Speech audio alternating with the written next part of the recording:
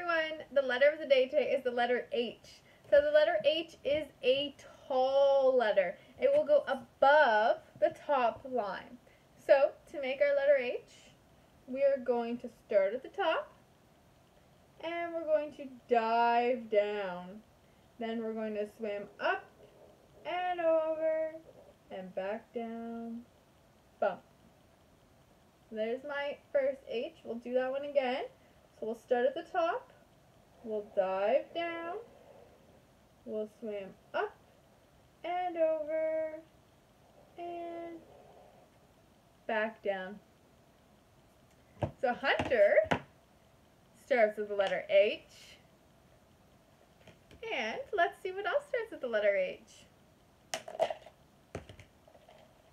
Hmm. We have a house.